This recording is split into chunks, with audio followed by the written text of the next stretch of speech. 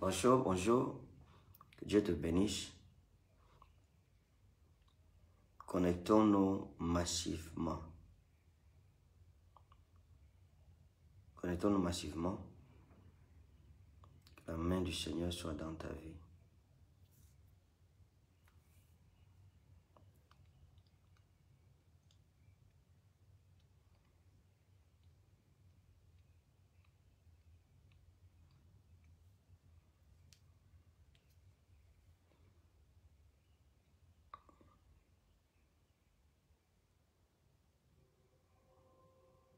Dieu te bénisse.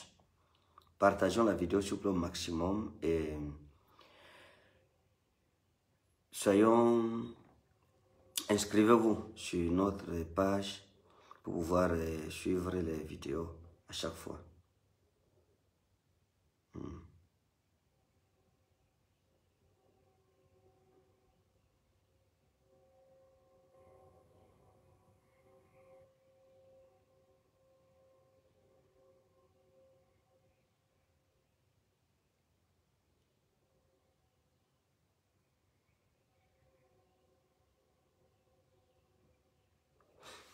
Voilà. Gloire à Dieu. Le Seigneur est bon.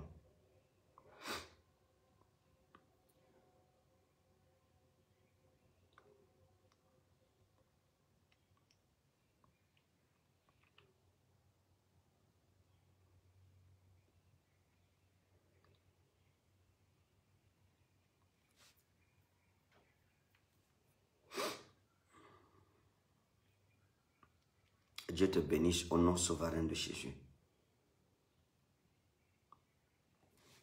Nous allons prier. Seigneur, merci pour ta grâce, merci pour ce moment spécial que tu nous donnes encore de passer ensemble. Nous te bénissons parce que tu es vrai. Que la louange, l'honneur te soit donné pour toujours. Dans le nom précieux de Jésus-Christ. Amen. Alors disons merci au Seigneur pour euh, le soleil qu'il nous donne encore de voir aujourd'hui. Disons que ce soleil soit un soleil de grâce et de bénédiction, mais un soleil de jugement pour toutes les œuvres de l'ennemi dans nos vies, dans le nom souverain de Jésus-Christ. Nous prions au nom de Jésus. Seigneur, merci pour la grâce de voir ce nouveau soleil. Merci pour cette faveur, pour cette main tendue que tu nous donnes encore. Nous louons ton nom et le célébrons parce que tu es vivant. Que ce soleil soit un soleil de santé, de longévité, de victoire, de bénédiction, de prospérité, de connaissance de Dieu dans nos vies, mais qu'il soit un jugement pour nos ennemis, pour ceux, pour la puissance de Satan, dans le nom précieux de Jésus. Père, merci parce que ta grâce, qui surpasse l'eau et l'argent, nous est abondamment accordée. Au nom précieux de Jésus-Christ. Amen. Amen. Que le Seigneur te bénisse. Dans le nom souverain de Jésus-Christ de Nazareth. Nous allons prier que Dieu bénisse cette journée. Au travail où nous serons à l'école, partout où nous irons, que la bénédiction de l'Éternel nous précède. Dans tes sorties, que la bénédiction de Dieu te précède. Nous prions au nom souverain de Jésus-Christ. Père, merci pour cette journée encore.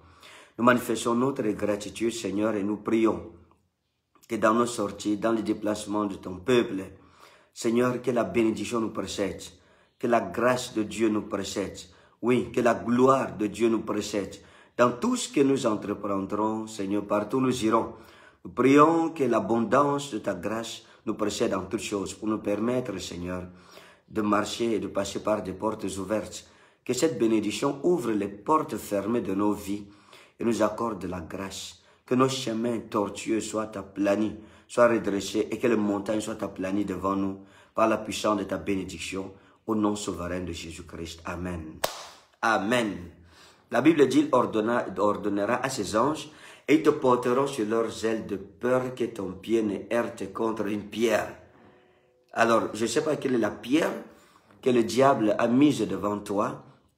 Je veux que nous prions, ou devant ma vie, devant nos familles, devant euh, nos, carrières. La inna albanata wa aspariza wa infilia blos. Nous allons prier au nom de Jésus.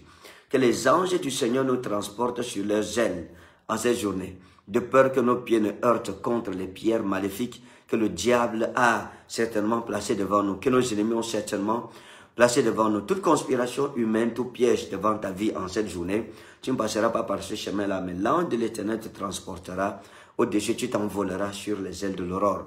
Nous sommes dans la prière au nom souverain de Jésus. Seigneur, transporte-nous sur les ailes de l'aurore. Transporte-nous sur les ailes de tes anges et emmène-nous, Seigneur, à bon port, dans le nom souverain de Jésus-Christ. Bilo credo wa fadis man aden. Balianau alberazia nau frezo. Kalita wa an albanau alborazo fili. Seigneur, au nom souverain de Jésus-Christ de Nazareth, tout piège de l'ennemi contre nos vies, Seigneur, tout ce qu'il a placé sur notre chemin, nous passerons pas par ce chemin, mais par ta grâce, Seigneur, tes anges nous transporteront sur leurs ailes et nous nous envolerons, Seigneur, sur les ailes angéliques. Oui, Seigneur, l'ennemi attendra et ne nous verra point, parce que l'Éternel aura donné ses ordres à ses anges pour nous transporter sur leurs ailes jusqu'à nous amener à bon port. La louange et la gloire te reviennent au nom précieux de Jésus-Christ. Amen. Alors si tu as fait cette prière avec foi, le Seigneur vient de t'exaucer. Crois que ton avion, en cette journée, c'est les ailes des anges de ton Dieu. Le Seigneur veillera sur toi. Le Seigneur te gardera. Il te protégera, il te préservera, il ne permettra pas à l'ennemi de se réjouir à ton sujet. Les pièges que nos ennemis tendront devant nous, tous ces pièges-là, tu ne passeras même pas déjà par ce chemin-là. C'est pas possible. Parce que les anges de l'éternel te porteront sur leurs ailes, de peur que ton pied ne heurte sur la pierre d'achoppement que l'ennemi a mise devant ta vie, que tes ennemis t'attendent vainement cette journée et que la protection de Dieu soit avec toi dans le nom précieux et souverain de Jésus-Christ. Amen. Nous allons prier que Dieu nous accorde les désirs de nos cœurs. On parle de désirs purs, des désirs qui ne t'éloigneront pas de Dieu, des désirs qui accompliront le plan de Dieu dans ta vie. Nous allons prier que les désirs de nos cœurs soient accomplis selon ce qui est écrit. Fais de l'éternel tes délices et il t'accordera ce que ton cœur désire. Bien aimé, le désir, quand Dieu exauce le désir ici, c'est pas la prière, hein. le désir n'est pas la prière. Le désir, c'est un degré de relation avec Dieu. Ça veut dire que où tu penses à quelque chose, tu souhaites quelque chose et la chose vient à toi. La prière, c'est que tu demandes avec insistance, avec intense, intensité et parfois la chose n'arrive pas. Mais il y a un niveau de relation avec Dieu que quand nous atteindrons ce niveau-là, nous désirons une chose, une voiture, tu dis, ouais, si je avoir la voiture ici. Le lendemain, la voiture est devant ton portail. Ouais, le chat de maison, si je pouvais construire ça. Le lendemain, ouais, le don de prophétie, si je pouvais l'avoir. Le lendemain, le don de prophétie là. Ouais, le fruit de l'esprit, la patience, si je pouvais avoir ça. Le lendemain, tu deviens un homme patient. Ouais, si je pouvais parler avec Dieu face à face comme Moïse. Et là, le lendemain, Dieu t'apparaît en visuel, te dit que tu as souhaité hier me parler face à face. Imagine-toi ce niveau. Imagine-toi que tu atteignes ce niveau spirituel. Le bailleur veut te déranger, c'est la fin du dis, ouais, si je peux avoir demain l'argent du loyer à 10 heures, avant 10 heures, l'argent du loyer est là.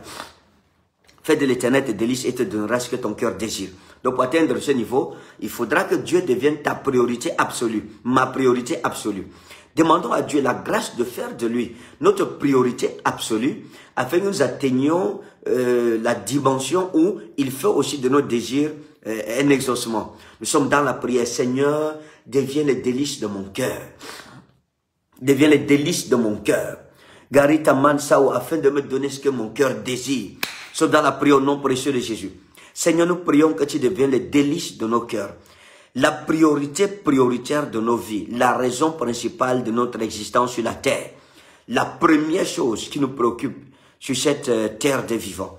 Seigneur, afin que nous puissions aussi atteindre la dimension où nous souhaitons une chose, elle arrive à nous, où nous désirons une chose et tu nous la donnes. Seigneur, élève-nous ce matin à faire de toi les délices de nos cœurs, à ne vivre que pour toi. Seigneur, à ne chercher que ta face, à ne proclamer que ton nom par nos bouches, Balinata Mansalia Naou. Que toute autre chose dans nos vies qui menace de prendre ta place soit rabaissée jusqu'aux entrailles de la terre. Soit rabaissée jusqu'aux entrailles de la terre. Au nom souverain de Jésus. Tout ce qui veut compétir avec ton nom dans ma vie, dans la vie de mes frères, Seigneur, nous reléguons, reléguons cela au dernier plan de nos vies, au nom puissant et souverain de Jésus. Tout ce qui veut voler la place de Christ dans nos cœurs, Seigneur, nous rabaissons cela dans les entrailles de la terre. Au nom précieux et souverain de Jésus-Christ de Nazareth, prends la première place dans nos vies, afin de faire de nos désirs une réalité. Prends la première place, Seigneur. Et au nom souverain de Jésus, accomplis les désirs de nos cœurs. Au nom souverain de Jésus, on a prié. Amen. Amen. J'ai l'habitude de prier toujours au nom souverain de Jésus-Christ. Peut-être les gens ne comprennent pas pourquoi je suis toujours attaché à cela. C'est juste parce que la souveraineté de Dieu, lorsqu'elle se manifeste dans votre vie, en réalité, vous devenez les pots entre ses mains et lui, le votre potier. Ça veut dire que vous vivez dans le domaine de la souveraineté de Dieu, ou bien où votre volonté n'a plus d'effet, où c'est la volonté de Dieu qui a un effet dans votre vie. Donc, partage la vidéo, s'il te plaît. Surtout que ce matin, je veux parler du sperme de Dieu. Les spermes de Dieu. Donc, partage cette vidéo. Parce qu'on va découvrir quelque chose de très grave. Hein? On va découvrir, j'ai découvert le sperme de Dieu. Et nous allons parler du sperme de Dieu ce matin. Donc, avant cela, ce vendredi, nous avons un grand programme, un grand rendez-vous. Et ce dimanche, nous avons quelque chose qui va changer ta vie. Bien-aimé, si tu aimes ta vie, mon cher frère, ma chère sœur, je te le dis au nom précieux et souverain de Jésus-Christ. Ne manque pas les deux programmes de cette semaine, ce week-end. Ne manque pas. S'il te plaît, vendredi, nous avons la grande nuit des flammes, la nuit des exploits. Nous clôturons le mois de juillet. Dimanche, le 1er août, ne joue pas avec. C'est euh, euh, le thème de dimanche, c'est posséder les portes du mois d'août. Posséder les portes du mois d'août. Si tu ne viens pas, le mois d'août ne t'appartiendra pas. Si tu ne viens pas, le mois d'août ne sera pas ta possession bien-aimée. Le premier mois, le premier service du mois est très important. Le premier service du mois est très important. Viens avec ton mouchoir blanc. Nous allons célébrer Dieu et prendre possession du mois d'août nous allons donner des déclarations prophétiques fortes sur ton mois de Je te dis la vérité. Ce sera un dimanche très très dangereux. Le premier dimanche du mois chez nous, désormais c'est une fête à l'éternel. Nous prenons position. C'est la guerre spirituelle. Viens, mange bien le matin. Si tu veux. Ou alors jeûne. Mais elle est force pour prier. Parce que nous allons prier contre toutes les préconisations, les plans, les desseins de l'ennemi contre le mois d'août. Nous allons prendre possession du mois d'août. On va démolir, saccager, détruire, renverser toutes les malédictions, maladies, toutes les choses, les nuisibilités que l'ennemi avait préparées, les œuvres de sorcellerie, les semences que l'ennemi a mises dans le mois d'août, nous allons détruire tout cela. Tous les malheurs que le diable avait déjà préconisés contre ta vie, ta famille, ta carrière, etc. On va détruire ça ce dimanche-ci. Donc, s'il te plaît, tu dois voir par ceci l'importance pour toi d'être à la bire, à Yaoundé, à la bire, à 7h30 ce dimanche. Nous allons travailler profondément dans vos vies. Je prendrai le temps dans ta vie. On va prier ensemble. L'Esprit de Dieu va anéantir les plans de nos ennemis. Et août sera un mois de grâce, de bénédiction, un mois de responsabilisation de la grâce de Dieu dans nos vies. Parce que le mois du d'août, le thème du mois d'août, c'est détruire les œuvres du diable et de la sorcellerie par l'onction du Saint-Esprit. Détruire les œuvres du diable et de la sorcellerie par l'onction du Saint-Esprit. La Bible dit que l'onction brise le joug. On va briser tout joug de l'ennemi dans ta vie, dans ta famille, dans ton mariage, ta vie sentimentale, tes projets, etc. Ce dimanche 1er août, à partir de 7h30 à Yaoundé, à la Bire. Quand vous arrivez au Carrefour bon, demandez tout simplement la Bire, comme vous avez la base internationale Rema. Tout le monde connaît, on vous amènera là-bas. Et le soir à Douala, s'il te plaît, le soir à Douala, c'est à partir de 16h. Ici, au quartier Ndogbo, derrière l'immeuble Kamle, demande tout simplement euh, Rema Ministry Mission, on t'amènera la congrégation baptiste camerounaise, paroisse Rema. On t'amènera là-bas et viens avec ton mouchoir blanc. Yaoundé Douala, viens avec ton mouchoir blanc. C'est un culte de possession, prise de possession de nos possessions. Posséder la porte du mois d'août. C'est le thème de ce culte posséder la porte du mois d'août. Dieu te donnera la possession de la porte de tes ennemis. Donc, ne manque pas, ce vendredi, c'est la nuit des flammes, la nuit des exploits où Dieu te donne l'option des exploits pour le mois d'août et pour le restant de ta vie. Donc, s'il te plaît, si tu aimes ta vie, ne joue pas avec. Si tu aimes ta vie, ne manque pas ce vendredi. Viens prendre l'onction des exploits pour avoir des exploits en août et tout le restant de ta vie durant. Que Dieu te bénisse au nom souverain de Jésus-Christ de Nazareth. Amen. Partage la vidéo. Je t'en supplie par les compassions qui sont en Christ Jésus. Partageons cette vidéo. S'il vous plaît, partageons la vidéo. Partage cette vidéo. Nous allons parler du sperme de Dieu. Je parle du sperme de Dieu. Voilà. Donc, en réfléchissant un peu et en poussant un peu mes études dans les Écritures, j'ai découvert que Dieu a le sperme, comme les hommes ont le sperme. Et puis, euh, dans tous les cas, Dieu lui-même, il dit dans sa parole, il dit dans sa parole que moi qui t'ai donné les yeux, est-ce que je ne vois pas? Moi qui t'ai donné les oreilles, est-ce que je n'entends pas? Donc, demain, moi qui te donne le sperme, est-ce que et j'ai pas le sperme. Moi qui te donne la capacité de, de, de, de, de procréer. C'est pour ça que moi je crée. Toi, homme, tu procrées. Donc, ça veut dire que si tu as le sperme, moi aussi, j'ai le sperme. Donc, nous allons voir le sperme de Dieu dans les Saintes Écritures. Et je sais que Dieu se manifestera avec puissance dans nos vies. Dieu agira avec grâce. Oui, sa bonne main sera sur nous. Et Dieu te donnera une connaissance qui va renverser les plans de l'ennemi dans ta vie. Donc, assois-toi bien. Nous allons parler du sperme de Dieu. Partage la vidéo dans tous tes groupes et Dieu te bénira. Tous ceux qui obéissent à cette injonction, votre vie ne peut pas être la même. Ce n'est pas du tout possible. Il te dit la vérité, c'est pas possible. Que la grâce de Dieu qui pas toutes choses puisse être ton partage au nom souverain de Jésus. Si vous n'êtes pas abonné, abonnez-vous pour avoir les notifications à chaque fois que nous faisons un petit direct. De temps en temps, il y a des petits directs comme ça que nous faisons. Euh, selon que l'Esprit nous conduit. Que Dieu te bénisse et sache que je t'aime beaucoup au nom souverain de Jésus-Christ et que la main de ton Dieu soit avec toi. Tes ennemis ont échoué, je te rassure, tes ennemis ont échoué dans le nom précieux souverain de Jésus. Parce que le sperme de Dieu est sur toi, tes ennemis ont échoué. Reçois le sperme de Dieu ce matin. Dans le nom précieux souverain de Jésus, reçois le sperme de Dieu. Dans ta vie, dans ton ministère, que le sperme de Dieu vienne t'envigorer, te ragaillardir, te ravigoter et au nom souverain de Jésus, que le sperme de Dieu vienne te booster. C'est fini au nom souverain de Jésus-Christ. Il faut savoir que, à la lumière des Écritures, est un héritage que Momi Shalom Ekane nous a laissé. Et c'est pour les grands, c'est pour les matures, ici, là. Donc, que Dieu te bénisse. Et on peut commencer maintenant. J'espère que tout le monde est déjà là. On peut commencer et on va commencer. Alors, nous allons il y a tellement de passages qui parlent du sperme de Dieu dans l'Ancien Testament, dans le Nouveau Testament, partout. La Bible parle du sperme de Dieu. Donc nous allons parler, on va lire un verset biblique dans 1 Jean chapitre 3, le verset 9. Un verset biblique dans 1 Jean 3, verset 9. Je vais lire en grec et je vais expliquer. Après on va lire en français. Il dit, Pasho gegenemenos ektuteu. Quiconque est né de Dieu. Amartian ou poi ei il ne pratique plus le péché. On va revenir sur le mot pratique en grec après. Il ne pratique plus le péché. Hoti sperma auto en auto menei, car son sperme habite en lui. Parlant du sperme de Dieu. Hein? Il dit, Hoti sperma auto en auto, car son sperme en lui, menei, demeure. Hein? Parce que le sperme de Dieu demeure lui. Kai udunatai amartenehin. Et il ne peut pas avoir la puissance de pratiquer, de continuer de pécher, ou bien de pécher continuellement.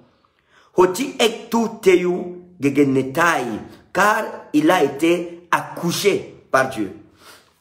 Donc, dans ce passage biblique, dans le terme grec, la terminologie grecque, euh, bon, pas la terminologie, mais l'étymologie grecque. Dans l'étymologie grecque et la terminologie de l'apôtre Jean, l'apôtre Jean nous dit, expose deux vérités fondamentales concernant Dieu en rapport avec le croyant, avec celui qui est né de Dieu.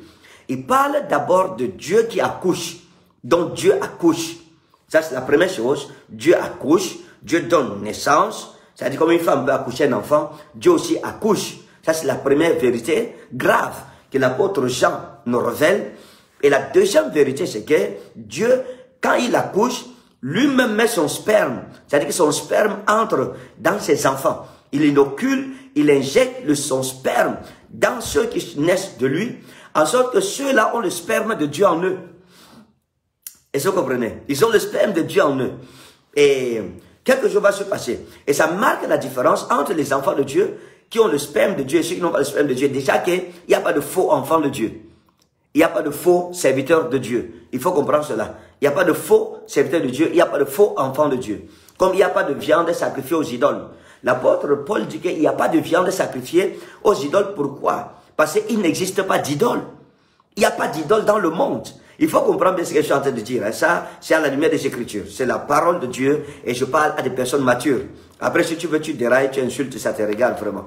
On s'en fout. Donc, Mais Dieu va te punir, tu vas toujours suivre le direct chaque matin.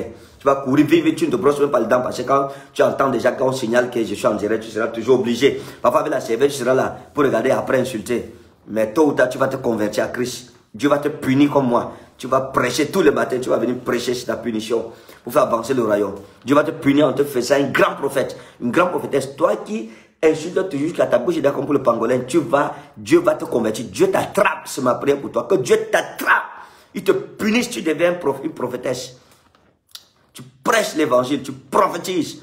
Plus qu'on ne fait. Dieu va te punir comme ça, hein, au nom souverain Jésus. D'ailleurs, tu es dans serviteur de Dieu. Chaque matin, tu dois arrêter. Parfois, tu, tu sauves le savon parce que le prophète Kaden Ferdinand est déjà en direct. Il va l'écouter ce que le bandit est en train de dire. Je vais aller écouter encore ce que le voleur est en train de dire, ce que le sorcier est en train de dire. Non, l'Esprit de Dieu va te punir, tu vas t'asseoir la serviette. Non, on est capable bien. Tu grouilles comme ça, tu suis pour aller reprocher, pour faire des... Non, mon ami, c'est là, l'esprit de Dieu va entrer en toi. Tu seras obligé. Tôt ou tard, tu vas prêcher comme je prêche là. Au nom souverain de Jésus-Christ. Tu vas apporter ta dîme. Que Dieu t'attrape dans le nom souverain de Jésus. Je t'attache même avec l'évangile. Je t'attache de ta tête jusqu'à tes pieds. Et je prophétise que tu seras une grande prophétesse. La bouche que tu dis pour insulter maintenant, tu vas faire avancer le royaume avec d'ici 200, 300, 400 nom précieux de Jésus. Père, merci. Tous ceux qui viennent nous insulter sur la page ici, qui deviennent des apôtres, des évangélistes, des pasteurs, des prophètes, des docteurs de la parole. Quelqu'un dit Amen là-bas. On va tous vous attraper au nom de Jésus-Christ. Amen. bonjour. C'est pour dire bonjour à nos détracteurs. Que Dieu bénisse. Donc, alors, maintenant, la Bible explique, l'apôtre Jean expliquera que, l'apôtre Jean explique qu'en fait, il y a deux choses. Dieu accouche, Dieu donne naissance. Et puis, quand vous lisez par exemple euh, Jean, le livre de Jean, euh, Jean chapitre 1, verset 12 à 13, il dit, mais à tous ceux qui l'ont reçu, à ceux qui croient en son nom, il dit, et d'aucun genestai. Il leur a donné le pouvoir d'être accouchés par Dieu. Et. À tous ceux qui l'ont reçu, à ceux qui croient en son nom, il leur a donné le pouvoir de, de naître de Dieu, d'être accouchés par Dieu. Donc ça veut dire qu'il n'y a pas de faux enfants de Dieu. Il n'y a pas de faux enfants de Dieu. Et j'expliquais le mystère des idoles. Pardon. L'apôtre Paul explique qu'il n'y a pas d'idole dans le monde. Il n'y a pas d'idole dans le monde. Voilà pourquoi les viandes qu'on sacrifie aux idoles, le croyant doit les manger. Prenons, prenons par exemple un cas. Prenons un cas, je vais bon, euh, la fête de mouton, la fête de Ramadan. Est-ce qu'un croyant chrétien doit manger euh, les animaux sacrifier, parce que ces animaux, avant d'égorger là, il y a des sourates, des sourates qu'on lit hein, dans le Coran. C'est-à-dire c'est sacrifier à Allah. Allah, subhanahu qui est le Dieu des musulmans. Donc voilà. Sans commentaire, je suis en train d'expliquer la théologie. Voilà. La théologie, parce que si on va, si on regarde par exemple sur euh, un plan de la métonomagie, sur le plan de la métonomagie, Allah est Dieu, ça renvoie au Créateur. Vous voyez, c'est un peu ça. Là, c'est sur le plan euh, métonomagique, ça renvoie au Créateur. Mais maintenant, sur le plan théologique, sur le plan théologique, si on regarde clairement, on voit un peu la position de Allah, le Allah, le Dieu du Coran, et le Dieu des chrétiens, sur le plan métonomagique, je le dis encore, de la métonomagie, et ça renvoie au Créateur. Mais sur le plan théologique, il y a des différences entre les deux dieux. Il y a des différences. Et peut-être un jour je reviendrai là-dessus. Parce que le Dieu des chrétiens, c'est un Dieu trinitaire le Père, le Fils, le Saint-Esprit. Vous voyez, c'est différent. Tandis que le Dieu de l'islam est monothéiste. C'est ce qu'on appelle le tawhid. Le tawhid, ça veut dire que lam yalit ahad, Allahu samad. Lam yalit wa lam. Dieu n'a pas engendré, il n'a pas été engendré et personne n'est comme lui. Donc on peut dire que Dieu n'a pas de fils. Vous voyez. Or, dans le, Dieu, euh, Adonai Elohim, dans la Bible, le Dieu des chrétiens, lui, il est train. Ça veut dire qu'il y a la Trinité. Donc, ça veut dire que dans la définition de Allah, euh, dans le Coran, et de Dieu, au théos, selon les chrétiens, c'est deux personnes différentes, c'est deux divinités différentes. Donc, on revient un peu à cela. Et donc, dans ce sens-là, l'apôtre Paul explique, par exemple, parce qu'il y avait un problème dans l'église de l'époque. Le problème, c'était quoi? C'était que les païens sacrifiaient des animaux à leur Dieu. Et on vendait cette viande au marché.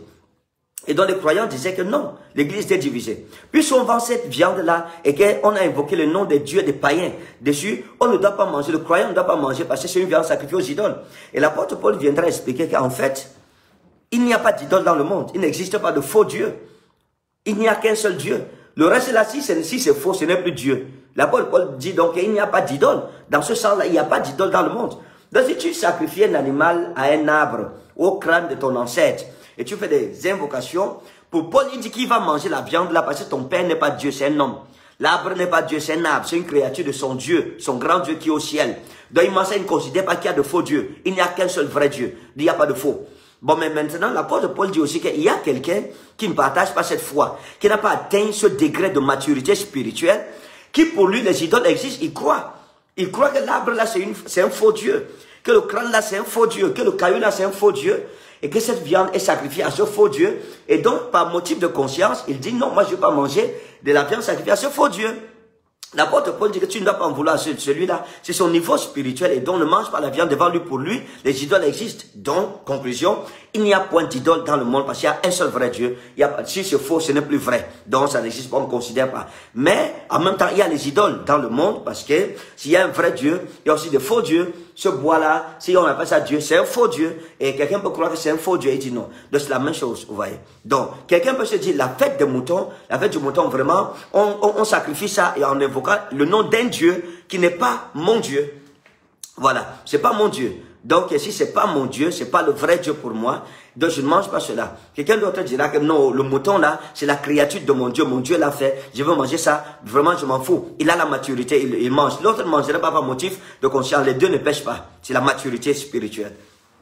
Maintenant, c'est la maturité spirituelle d'un côté et puis l'immaturité de l'autre côté. Donc Dieu te bénisse. Donc je voulais juste que vous compreniez euh, cette euh, vérité-là sur le vrai et le faux. Maintenant, lorsque nous revenons dans la sémence de Dieu, le sperme de Dieu, le sperme de Dieu, la Bible explique il dit ceci, il dit, Pasho genemenos ektuteyum, celui qui est accouché de Dieu, celui qui a été engendré de Dieu. Donc ça veut dire quoi? Il n'y a pas de faux enfant de Dieu.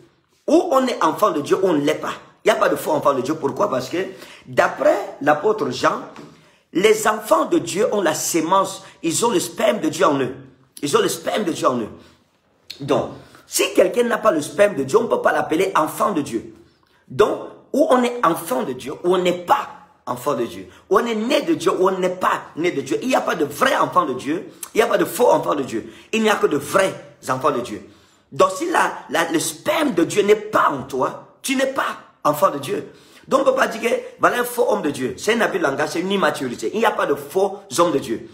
Il n'y a que de vrais hommes de Dieu. Parce qu'un vrai homme de Dieu a la sémence de Dieu en lui. Il a le sperme de Dieu en lui. Celui qui n'a pas le sperme de Dieu ne lui appartient pas. Donc on peut pas dire que c'est un faux enfant de Dieu. Comme si Dieu avait des faux enfants qu'il engendrait. Dieu n'engendre pas de faux enfants. Donc il ne faut pas qu'on lui mette sur le dos des enfants qu'il n'a pas engendrés. Dieu a ses enfants qu'il a accouchés lui-même. Donc Dieu tombe enceinte. Voilà pourquoi, comme j'ai dit, Jean chapitre 1, le verset 13, la Bible parle de comment nous sommes nés de Dieu. Comment nous naissons de Dieu. Il dit, mais à tous ceux qui l'ont reçu, à ceux qui croient en son nom, et d'aucun autois, il leur a donné. Le pouvoir d'être ça dit Dieu est enceinte de toi et puis Dieu t'engendre, Dieu t'accouche. Tant que tu n'es pas passé par la maternité de Dieu, tu n'es pas un vrai enfant de Dieu. C'est ça la vérité. Oh, je suis enfant de je suis enfant de Dieu, je suis homme de Dieu. Est-ce que tu connais la maternité de Dieu Tu nous amènes à l'hôpital des jeunes d'Okpachi. Est-ce que c'est là-bas la maternité de Dieu On te voit, et puis tu sors avec le, blouse, la, blouse blanche, on te demande comment tu sors dans la maternité la Quintini. C'est pas ça. Dieu ne fabrique pas ses enfants la Quintini. Non. Il y a une maternité divine. Dieu a sa maternité. Dieu tombe enceinte tous les jours et il engendre tous les jours, il accouche tous les jours. Donc celui qui est accouché par Dieu, selon l'apôtre Jean, celui qui dans Jean, chapitre 1, verset 12 et 13, nous parle que Dieu tombe souvent enceinte de nous, et enceinte, et il engendre des enfants. Donc, si tu n'as pas fait neuf mois dans le ventre de Dieu, cesse de venir faire le bavardage ici. Et quand le sperme de Dieu est dans quelqu'un, on sait. Tu vois quelqu'un qui vient dans les réseaux sociaux, il insulte les autres. Regardez les commentaires. Tu sauras que celui-ci a le sperme de Dieu, celui-ci le sperme de Dieu n'a pas encore touché. Non. Quand, le sperme, quand on parle du sperme, mes enfants, le mot sperma, qui a donné sperme en français, signifie tout simplement la sémence ou la postérité. La sémence ou la postérité. C'est ce que ça veut dire. Donc le mot sperme, euh, sperme en grec, qui a donné sperme en français, veut dire la sémence de Dieu. Donc, quand quelqu'un est né de Dieu, la sémence de Dieu est en lui. Et la sémence définit la race. Vous voyez? La sémence définit la race. Laisse-moi te montrer quelque chose. La sémence définit la race. Dis à quelqu'un, la sémence définit la race. Donc, quand tu n'as pas le sperme de Dieu, on sait. Lorsque quelqu'un n'a pas le sperme de Dieu en lui, on le sait. Lorsque la semence de Dieu n'est pas en lui. Je vous ai expliqué quelque chose. Hein. Tu ne peux pas être un enfant de Dieu, tu hais encore ton frère. Tu peux être un enfant de Dieu, tu as des paroles injurieuses. Non, ce n'est pas possible. Ce n'est pas possible. La sémence de Dieu t'empêchera de faire ce que celui qui n'a pas la sémence de Dieu fait. Voyez. Donc je voulais dire que la sémence définit la race. La sémence, elle définit la race. Donc si la sémence de Dieu est en toi, la race de Dieu, tu la portes automatiquement. Tu, es, de la race de Dieu. Lorsque vous voyez par exemple le manguier, le manguier a sa sémence. Et le manguier ne peut produire que des mangues. Le manguier ne va jamais produire des goyaves. Ce n'est pas possible. Non. Ou bien tu vois un manguier qui produit les papayes. Tu vas fuir toi-même. Tu vas comprendre que quelque chose ne va pas. Donc voilà pourquoi Dieu ne peut produire que des dieux. Si quelqu'un a le sperme de Dieu en lui, il est un Dieu. Quand vous lisez 186, verset 6, j'avais dit vous êtes des dieux. Vous êtes tous des fils du Très-Haut. C'est de ça qu'il s'agit. Pourquoi vous êtes des dieux Pourquoi? Parce que votre Père est Dieu. Il est le Dieu créateur, le Dieu souverain. Donc tu ne peux pas dire que la sémence de Dieu est en toi et tu es un homme, un humain simple. Ce n'est pas possible. Vous voyez? Ce n'est pas du tout possible. Dans Acte 17, verset 29, la Bible dit ainsi donc étant la race de Dieu, nous ne devons pas croire que la divinité soit semblable à de l'or, à de l'argent ou à de la pierre, sculptée par l'art et l'industrie de l'homme. Donc c'est un peu ça la réalité. L'apôtre Paul est dans sa philosophie théologique. C'est-à-dire que pour lui, la divinité, il n'y a pas de, Dieu que Dieu. C'est un peu comme la, profession de foi des musulmans, il n'y a de Dieu que Dieu. Donc, il dit qu'ainsi donc étant la race de Dieu. Oh, tu ne peux pas être la race, tu peux partager une race si tu n'as pas le sperme de ces races en toi. C'est le sperme qui décrit les races. C'est le sperme. Lorsque vous avez un blanc, les blancs entre eux ne vont jamais donner un noir, euh, entre guillemets. Pourquoi? Parce qu'en fait, le sperme, c'est la race blanche et que ce sperme doit pérenniser. La même chose, deux noirs ne peuvent pas accoucher d'un blanc. Pourquoi? Parce que leur sperme est là pour rendre pérenne, pérenne la race noire. Et ça, vous comprenez? Donc, c'est la même chose. Et quand vous prenez un blanc, vous mettez avec un noir, avec une noire, vous allez trouver que l'enfant sera métissé. Pourquoi? Parce que deux spermes qui sont garants de deux races différentes vont se croiser, ils vont faire 50-50. Et l'enfant sera métisse. C'est un peu cela. Donc, la race est dans le sperme. On ne peut pas appartenir à la race de Dieu si le sperme de Dieu ne parle pas en nous. Si la sémence de Dieu ne parle pas en nous. Et cette sémence donne la postérité. Ça veut dire donne la descendance de Dieu. Donc ceux qui ont le sperme de Dieu en eux deviennent descendants de Dieu. Ça veut dire qu'ils sont des dieux. J'avais dit vous êtes des dieux, vous êtes tous des filles du Dieu très haut. Voyez. Mais cependant, mourir comme les autres tombés quand le prince quelqu'un tombe. La sémence de Dieu en toi définit ta race et dit que tu appartiens à Dieu. Donc, soit tu as cette sémence, tu appartiens à Dieu, soit tu n'as pas encore le sperme de Dieu en toi et tu n'appartiens pas à Dieu. C'est ça la réalité. Donc, on ne triche pas avec ces affaires-ci. Je vous dis la vérité. Il n'y a pas de faux chrétiens. Il n'y a pas de faux chrétiens. Il n'y a que de vrais chrétiens. Il n'y a, a pas une race qu'on appelle la race des faux enfants de Dieu. Il n'y a pas une race, une pseudo-race qu'on appelle la race des faux serviteurs de Dieu. Non. Il y a une seule race pure. Elle est pure. Elle n'est pas mélangée. Elle n'est pas métissée. C'est la race des descendants de Dieu. Maintenant, Paul dit que quand la sémence de Dieu en nous, il dit que, étant de sa race, étant la race de Dieu? Donc le sperme de Dieu me donne droit à devenir, à appartenir à sa race. Là, c'est acte 17, 29. Permettez-moi de lire quelque chose ici, dans acte 19 là. Regardons ce que le grec dit. Hein. Acte 19, hein, acte 17, 29. Je crois que c'est ça. Acte 17, 29. Allons-y, pendant que tu cherches aussi, c'est ça? Acte 17, 29. Nous sommes de sa race. Dis à la maison, je suis de sa race en commentaire. Je suis de sa race. Je suis de sa race.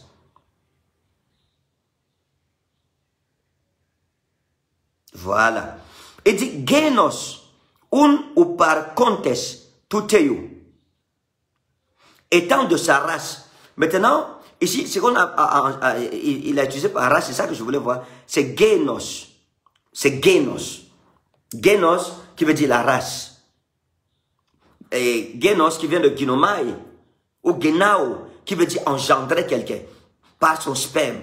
Donc donner sa nature à quelqu'un, mais pas le sperme, pas la semence. Donc nous sommes de sa race.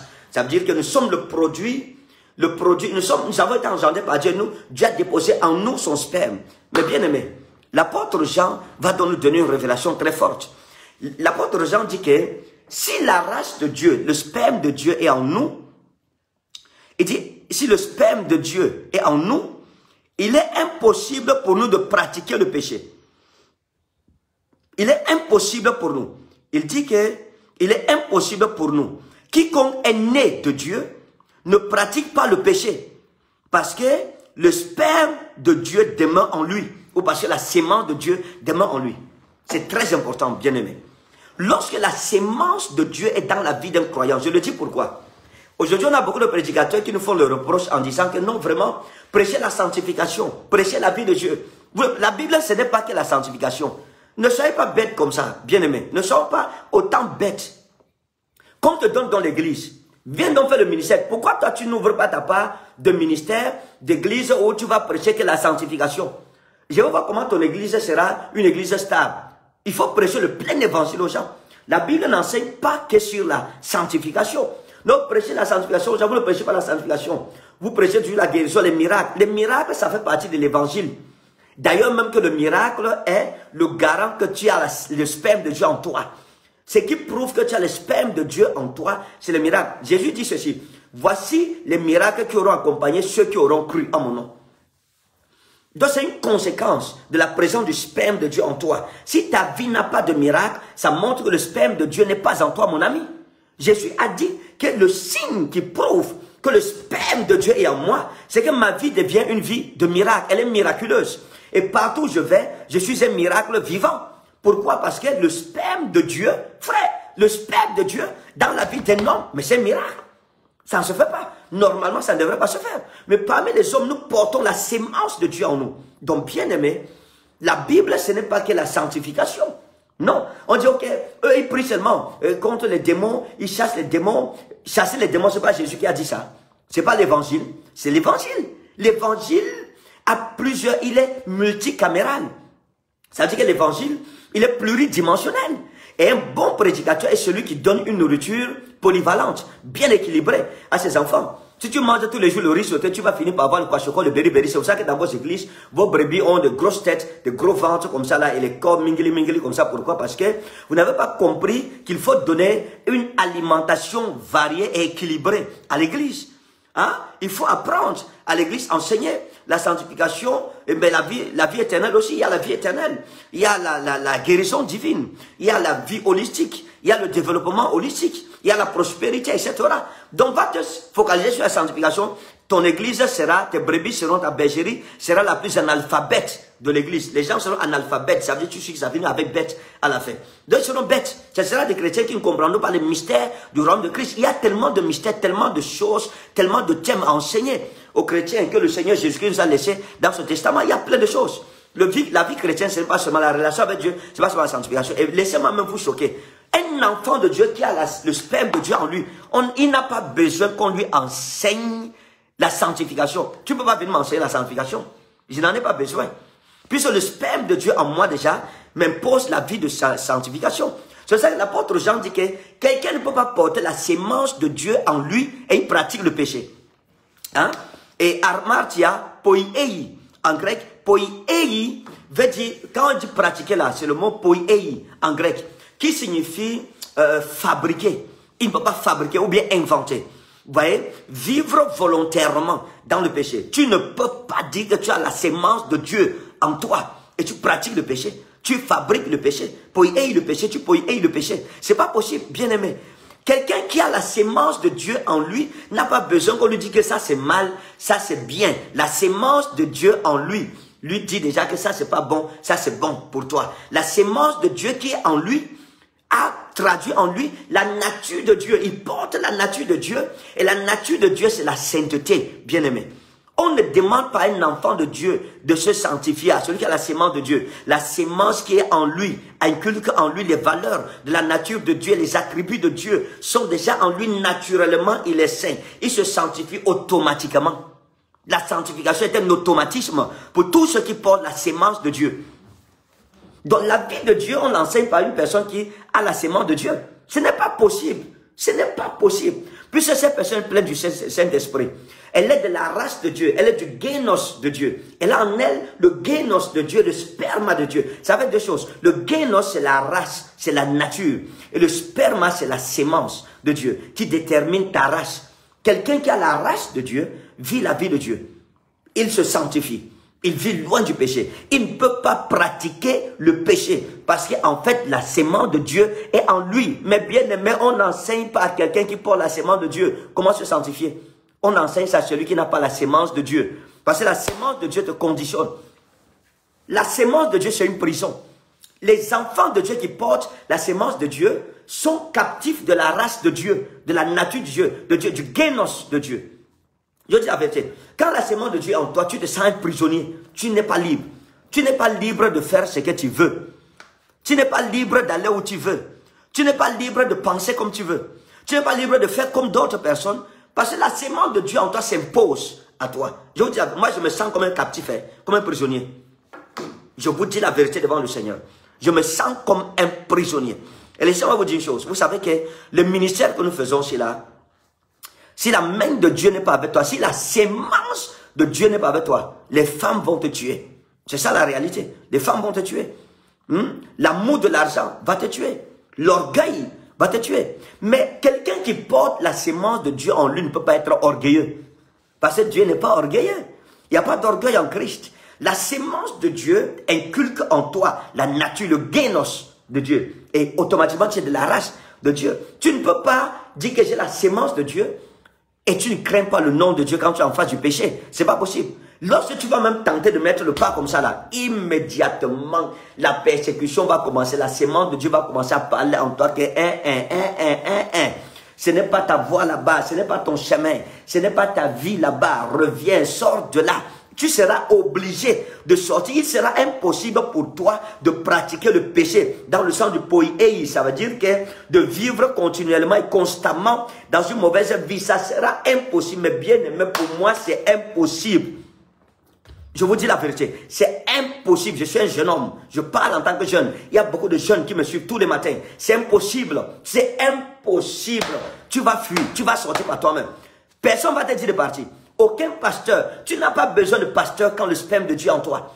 Tu n'as pas besoin de prophète quand le sperme de Dieu est en toi. L'Esprit de Dieu devient ton pasteur. Dieu lui-même est ton bon berger. Et dit Yahweh Rohilo Esar, l'Éternel est mon berger. Je ne manquerai de rien. Dieu est derrière tous ceux qui ont sa sémence. Parce que tous ceux qui ont le sperme de Dieu portent Dieu en eux. Et Dieu devient le berger de ton âme. Tu ne peux plus faire ce que tu veux. Ce n'est pas possible, bien aimé. Ce n'est pas possible.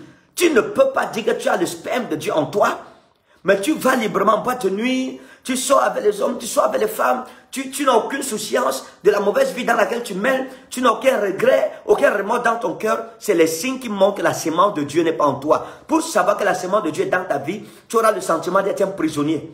C'est-à-dire que la ceinture de Dieu, Dieu t'a serré. Tu n'es plus libre de faire ce que tu veux. Ce n'est même plus possible que tu fasses ce que tu veux. Non, ce n'est pas possible du tout tu es esclave.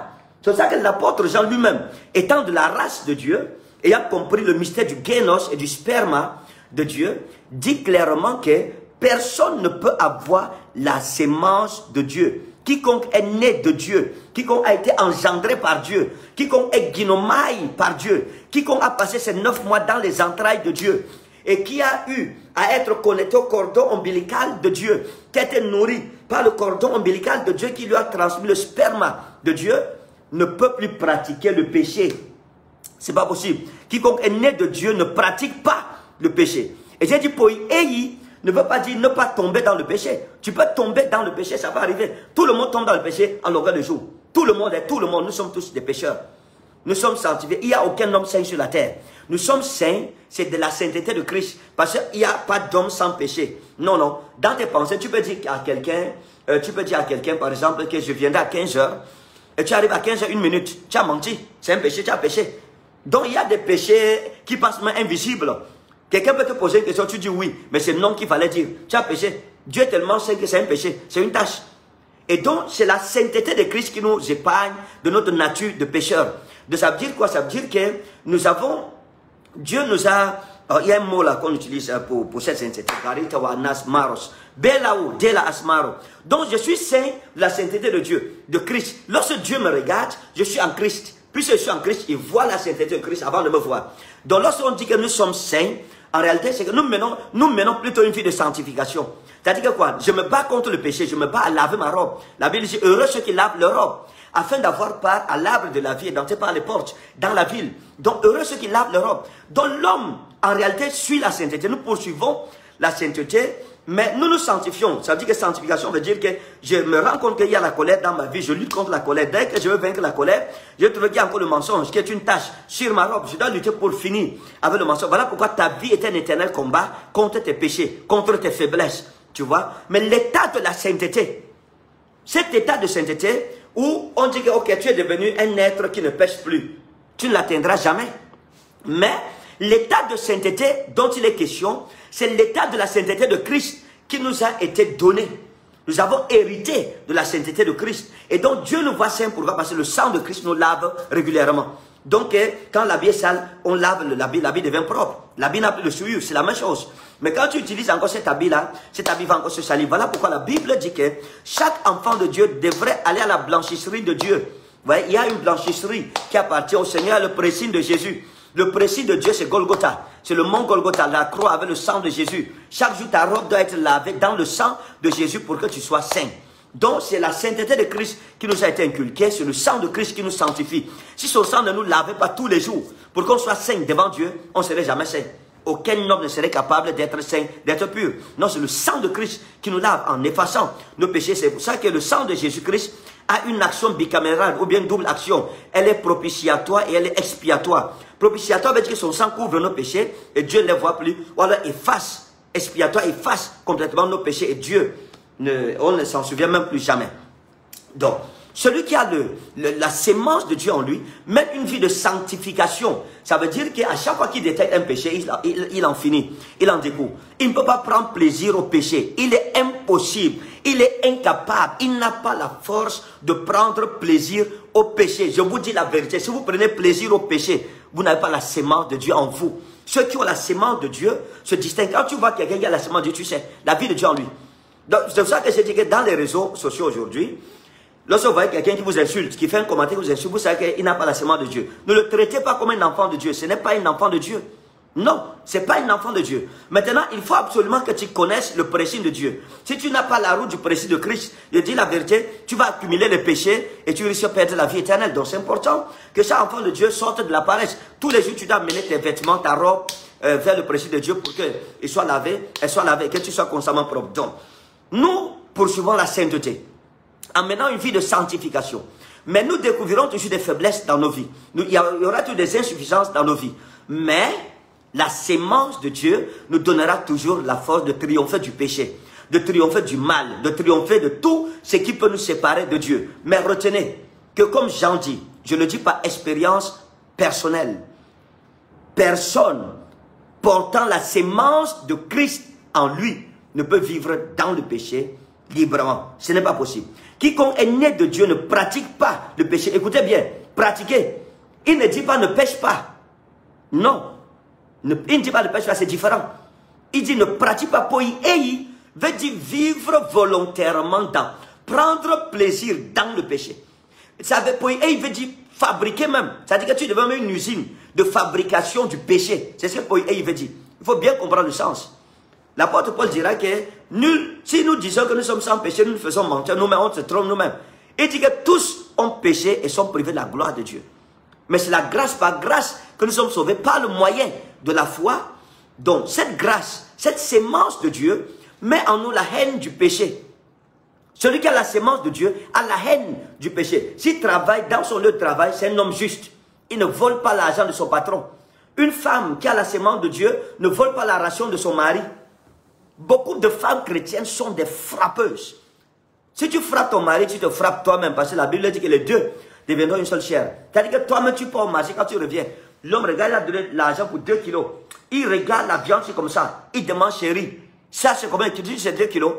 Tu dis oui bébé, oui bébé. Pourtant, c'est demi-kilo que tu as acheté. L'homme regarde la viande, ça ressemble à demi-kilo. Mais quand tu tiens ça dans ta main, tu fais ça. Le gars voit comment ça le poids de 2 kilos. Mais quand il regarde, c'est un demi-kilo que tu as acheté. Donc, la sémence de Dieu va t'empêcher de vivre dans le désordre. Je disais que pour nous qui sommes des hommes de Dieu, et surtout depuis que mon épouse est partie, je vous dis la vérité, c'est la guerre. C'est la guerre avec les femmes. C'est un peu comme si les femmes se sont dit que, ok, mon ami, allez, en avant, à l'attaque, à l'attaque, à l'attaque, c'est l'heure d'attaquer. Chacune se presse, hein. chacune se dit que je dois aller vite, vite, vite, avant que quelqu'un d'autre n'arrive avant moi. Mais sincèrement, laissez-moi tranquille, pardon, calmez-vous. J'ai beaucoup de fils, plus beaux que moi, hein, nombreux. Donc, priez pour ça. Faut pas prier, tu priais pour mon fils, maintenant c'est sur ma tête que tu déposes tes sujets de prière. Non, pardon. Laissez-moi, leave me alone. La sémence de Dieu est dans ma vie. Que Dieu m'aide, que Dieu m'en garde, que Dieu me préserve. Que sa sémence s'augmente encore dans ma vie. J'ai toutes les révélations. Toutes les révélations. Toutes les révélations. Pas des messages en pleurant parfois, c'est les photos qu'on m'envoie, des vidéos. Vraiment, papa, Dieu m'a dit que c'est toi mon mari. Vraiment, je ne voulais pas. Hein.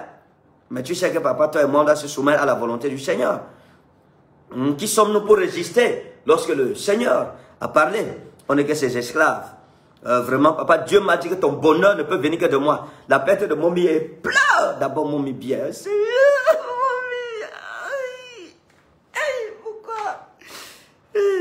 Seigneur, merci. Papa, mais Dieu m'a dit qu'il n'y a que moi pour te de la tristesse de mon vie. je veux. Papa, ne refuse pas. Je veux refuser au nom de Jésus. Blood of Jesus. Que Dieu m'en garde. Non, écoutez, la sémence de Dieu. La sémence de Dieu est importante, frère. Si vous n'avez pas la sémence de Dieu, vous vous trouverez en train de faire des choses que vous ne pouvez pas imaginer. La sémence de Dieu est la seule chose qui garde ma vie. Je vous dis la vérité. C'est la seule chose qui me garde. Vous ne pouvez pas suivre quelqu'un. On suivait pas quelqu'un. Un homme ne suivait pas sa femme. La femme va suivre le mari. Si un homme, quelqu'un dit qu'il va pécher, il va pécher. Il trouvera toujours un petit coin là où il va faire son péché. Mais la sémence de Dieu est la plus grande garantie de la vie de Dieu dans un croyant. Donc cessez de dire aux gens, non, il faut enseigner la sanctification. La vie de Dieu, on doit l'enseigner à ceux qui sont nés nouvellement dans le royaume. Voilà. Mais quand la sémence de Dieu est formée en toi, tu n'as pas besoin que quelqu'un te dise que non, c'est monté. Il dit, il ne peut pécher parce qu'il est né de Dieu. Quiconque est né de Dieu ne pratique pas le péché. Parce que la sémence, le sperme de Dieu demeure en lui. Et il ne peut pécher parce qu'il est né de Dieu. Deux choses. Le sperme de Dieu en lui, et il ne peut pas pécher parce que c'est Dieu qui l'a engendré. C'est Dieu qui l'a accouché. C'est pas possible qu'il pêche. Donc ça veut dire quoi? Ça veut dire que la sémence de Dieu te donnera de résister à la séduction du péché. Parfois, tu vois le péché comme ça, tu dis non. Tu regardes comme ça, là, parfois, il y a des femmes, des femmes, tu vois une femme, elle t'envoie sa photo, tu regardes la photo comme ça, ton cœur te dit que ça, c'est du produit. Ça, là, Dieu a travaillé, Dieu a fait le bon travail, fils l'ail sur ça. Mais la sémence de Dieu te dit, tu ne touches pas. C'est touche pas de.